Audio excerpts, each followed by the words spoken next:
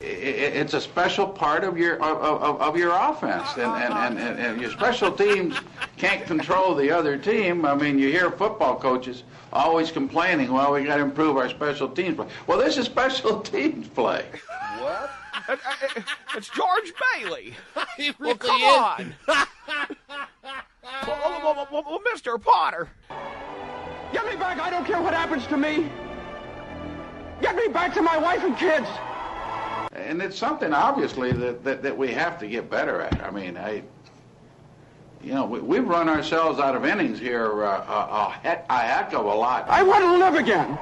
I want to live again. I want to live again. Please, God, let me live again. And and, and, and, and, and, and, and you talk about it. My mouth's bleeding, Bert. My mouth's bleeding. Uh, uh, uh, uh, uh, don't you know me, Bert? It's, uh, it's George I was Bailey. going to say, when Lou's done managing, they're going to remake It's a Wonderful Life, and here he'll be. Zuzu's petal. Zuzu's petals. Zuzu. There they are. Bert, what do you know about that? Merry Christmas! I- I- It's a special part of your of, of, of your offense. Yay!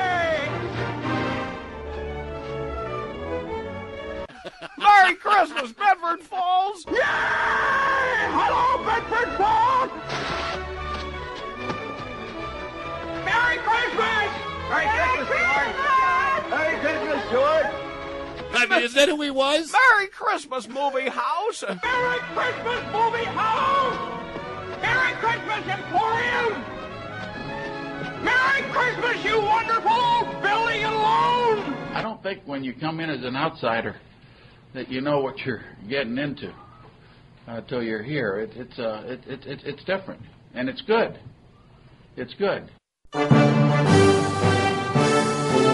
it's not good. It's Not good. You It's don't not mean good. that. It's not what you're saying. Up until yesterday, it wasn't good. And by the way, to One of start the show today, we were talking about the big story of the weekend, and that is Lou Piniella fleeing town to take care of his ailing mother, and this the, the seeming need on the part of many to find some sort of warm aspect to the story or some sort of of bittersweet. Term bittersweet, It's yeah. not bittersweet. It's just bitter. It's a really sad end to a sad tenure and a sad guy and, in And a sad team. sad team, sad times. The whole thing reeks of death.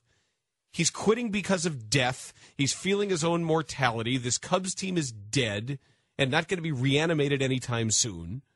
Four And it- moves. it's wow. Four moves. Jim Hendry's magic four. Will we be counting them? Pujols, Ruth. Cliff Lee. Also on the list for Abbattacola for the reunion show Cliff Lee? Friday. No, Babe Ruth. Oh, big heavy He, fuel. uh, crew he was guy. a big Yeah. heavy fuel crew guy originally. Mhm. Loved it. Ruth Black.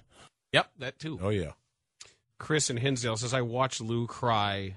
He knows he didn't accomplish his goal. Delighting in an old man's sadness does. I'm not delighting in his sadness. Not what we said at all. N- No, no. At no point on this show did anybody delight in his sadness. Not at all. I'm just pointing out that the story is sad. It's all about death. It's about the death of his career. It's about the death of this Cub team, the death of his mother, the death of his uncle, him confronting his own mortality. There's no bittersweet. There's no tears of joy. It is just sad.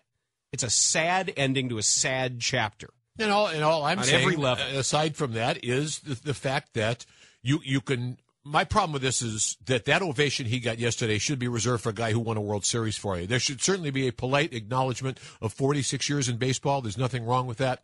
But when you do that, when you salute like that, you're just sort of like playing into the old Cub stereotype. And then you walk outside the park, and 70% of the people surveyed said they want Ryne Sandberg as the next manager. Which and people tell me the Cub fans are smarter. All I'm saying is you were hired one job, one job only, win the World Series with this team. You were given all the the resources they could possibly muster. You were giving a, a the most expensive team in the National League, so you failed. Aside from the sorrow and the sadness or whatever you want to whatever you want to read into yesterday, the fact is he didn't get the job done. And if you hear anybody delighting in any of that, then you're No, a, I'm then not you're, delighting no, in it at then you're a bad listener, and you you listen wrong if that's what you've heard, because that's that's Not what we said. not what's been said, and in fact, the opposite has been said.